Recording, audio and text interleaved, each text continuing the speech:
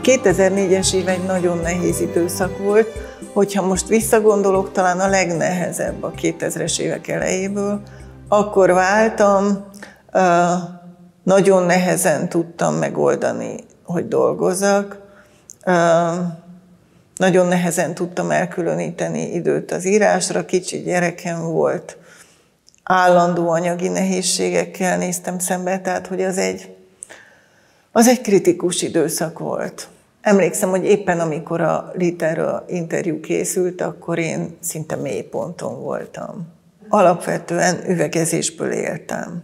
Egy pincében volt egy ólomüvegműhelyem, oda jártam el naponta dolgozni, és kisebb munkákat a lakásomban is végeztem. Érdekes megrendelőkkel találkoztam abban az időszakban, és jól emlékszem, hogy készült velem egy tévéinterjú, talán éppen a síróponyva kötet kapcsán. Ezt az egyik megrendelőm véletlenül látta a tévében.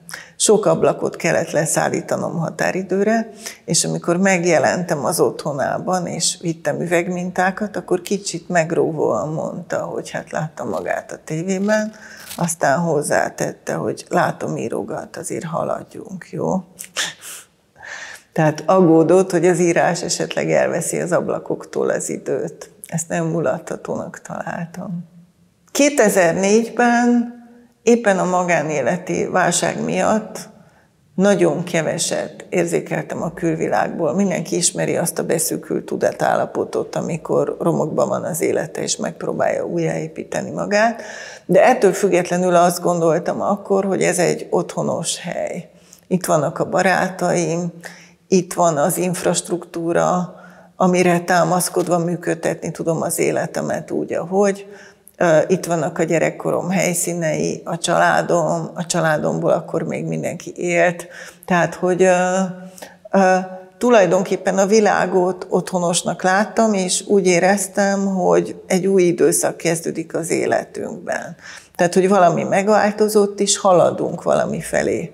Azóta ez az illúzió teljesen megszűnt, Ilyen értelemben nosztalgiával gondolok a 2000-es évek első felére, amikor ez egy pesgő élő hely volt, ahol mindig történt valami, és úgy éreztem, hogy az ország és a város nyílik ki.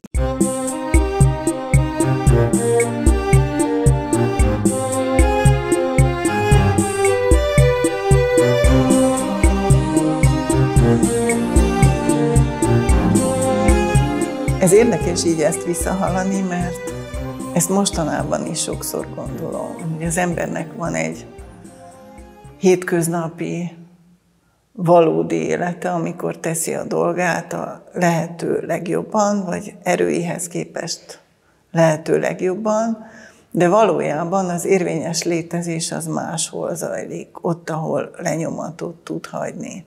Tehát ezt most is így gondolom, és hogyha az írásban különböző körülmények miatt hosszú időszak kimarad, akkor én azt mindig nagyon megsínem, és úgy érzem, hogy akkor nincs igazolása annak, hogy én itt vagyok a világon. Tehát ez független mondjuk a, a, az egyéb dolgoktól, tehát hogy az ember mit tesz, hogy gyereket nevel, ezt-azt elvégez a világban. A valódi munka az az, amit ott csinál.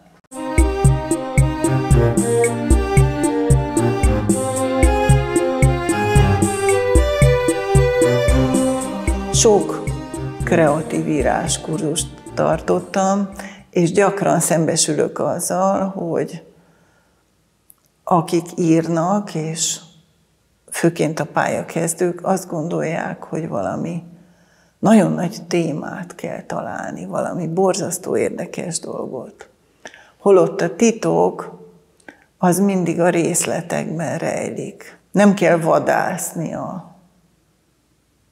rettenetes súlyú sorsztorikra, mert, mert mindig a részletekben tudjuk megtalálni azt, amit meg akarunk írni.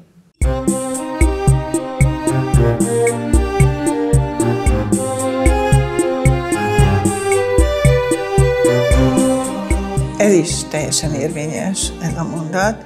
Tehát nem szeretem, hogyha bármilyen magánéleti válság vagy külső probléma az elállja előlem a világot, és nem tudok arra fókuszálni, amin éppen gondolkodni szeretnék.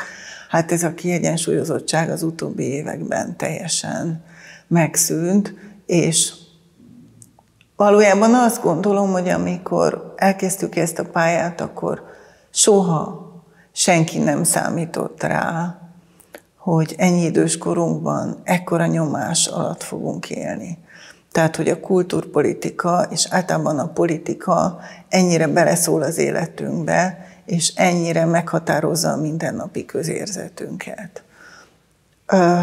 Egyetlen pillanat volt, amikor meghatározta a rendszerváltás eufóriája. Akkor azt hittük, hogy minden megváltozik, és egy egészen más világban fogunk élni.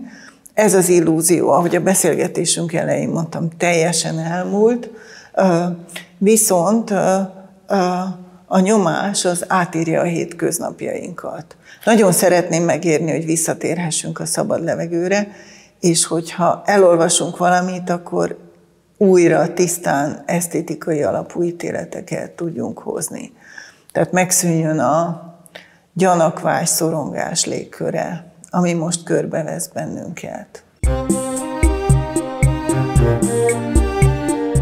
Az, hogy az ember az írásaiban mennyire reagál a közéleti kérdésekre, az nagyon nagyban függ attól, hogy miféle világ veszi őt körbe, és egy író általában érzékeny felület, mindent tükröz, ami a külvilágban körülötte történik, és mindarra, ami mondjuk az utóbbi évtizedben történt Magyarországon, szerintem íróként egyszerűen nem lehet nem reagálni. Ezek nem politikai állásfoglalások, hanem a valóság rögzítése, vagy annak igénye, hogy valami lenyomatot hagyjak arról, hogy milyen volt ezekben az években Magyarországon, itt Közép-Európában élni. 2004-ben, amikor az interjút készítettük, akkor a Síró Ponyva című kötet jelent meg.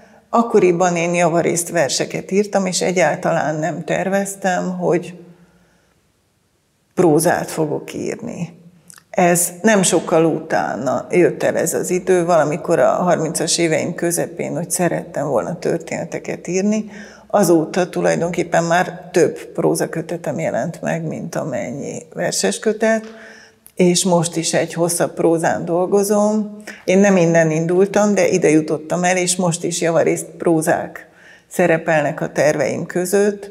Soha nem gondoltam például, hogy színpadi művet fogok írni, mert ez is teljesen idegen volt az akkori énemtől, de az ember személyisége változik. Kicsit a hangja is, de a személyisége mindenképpen, és egyszerűen fölmerülnek menet közben dolgok, hogy mit kéne még csinálni.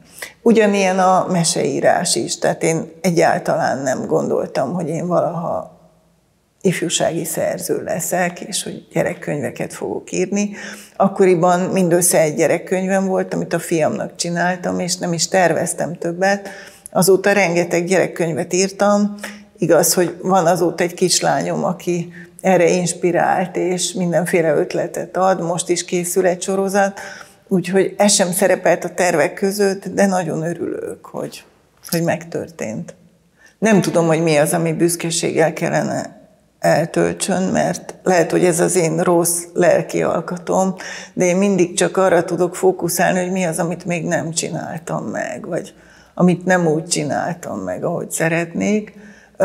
Van több félbehagyott dolog, amit jó lett volna befejezni, de menet közben le kellett mondanom róla. Tehát rájöttem, hogy, hogy egy idő után hiába pofozgatunk egy szöveget, abból nem lesz az, amit szeretnénk. Tehát, hogy nem lehet nem lehet kihozni belőle azt, amit eredetileg terveztünk. Szerintem mindenkinek vannak ilyen írói kudarcai, amikor akárhány befektetett munkaóra után rájön, hogy hiába teszi át mondjuk egy-egy szám harmadik személybe, ez nem az, amit szeretne. Ezek a kerülő utak, ezek bántanak, de mindig azzal vigasztalom magam, hogyha, hogyha nincsenek, akkor soha nem jutok el oda, ahova, akartam. Tehát, hogy a kerülő utak is hozzátartoznak az irányhoz, tehát, hogy meg kell őket tenni, és akkor majd tovább lehet haladni.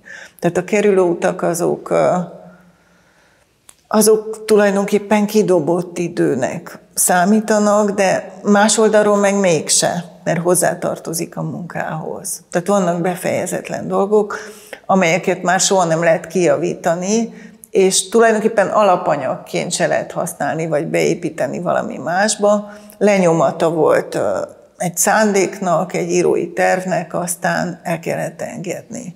De ez nem baj, szerintem nem kell mindennek megjelenni, vagy nem kell mindent megírni. Nem tudom, hogy az akkori önmagam hogy látna a mai írót, mert én nem tudom leválasztani az írót a magánszeméről. Tehát nekem az írás tulajdonképpen az otthonom, a mindennapi tevékenységem. Nem tekintek magamra külön, mint magánemberre és íróra. Tehát úgy képzelem, hogy nagyjából, nagy vonalakban sinem van az életem, abból élek, amit a legjobban szeretek csinálni. Ez egy nagy szerencse és tulajdonképpen kiváltság.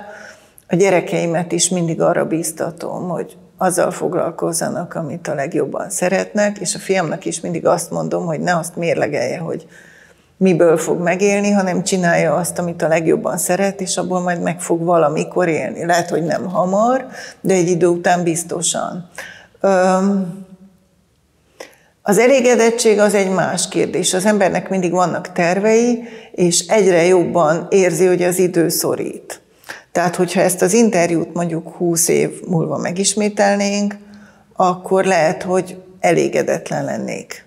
Egyébként pedig egyáltalán nem lehetünk biztosak abban, hogy bárki, aki ma megszólal, és aki 20 éve is megszólalt, az 20 év múlva is velünk lesz. Mit lehet erről tudni? Lehet, hogy már egyikünk se lesz, vagy sokan nem lesznek itt közülünk. Szerintem a legszerencsésebb dolog, hogyha az ember teheti a dolgát, és hagyják. Ma, ahogy írok, nem mindig érzem azt, hogy hagynak, és hogy nyugodtan tehetem a dolgom. A legtöbb, amire számíthatok, hogy talán húsz év múlva megint itt leszek, és majd hagynak csinálni a dolgomat.